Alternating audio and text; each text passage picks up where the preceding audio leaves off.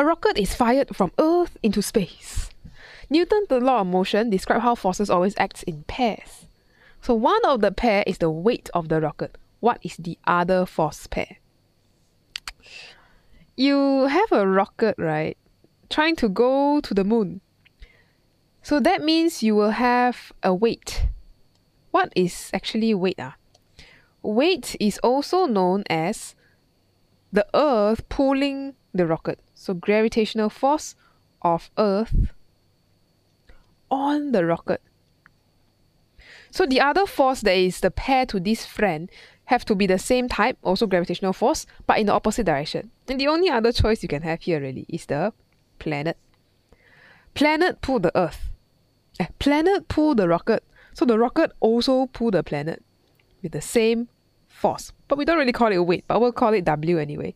And this is also gravitational force of the rocket on the earth.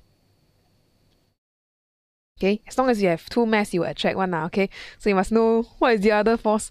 must be same type, number one, same type of force. Number two, opposite direction. Number three, act in oppo uh, act on uh, different objects. Different objects. So you see one force is acting on the rocket, trying to pull it down. The other force is acting on the planet, trying to pull it up. Mind blowing. Okay, so here we can choose our answer. I think the best choice we're going to choose is D, lah, gravitational force.